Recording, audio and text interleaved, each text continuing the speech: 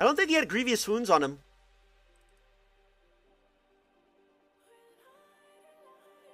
I mean,